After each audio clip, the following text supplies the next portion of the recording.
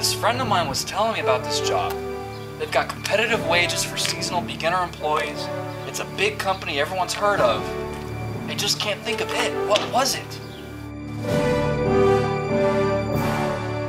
It's an environmentally conscious company that has excellent plans for employee ownership. I just can't think of it.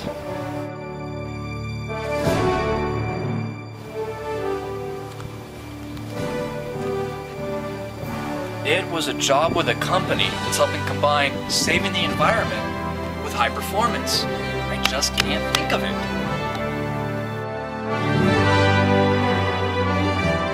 I just wish I could think of it. What was that job he was talking about? What was it?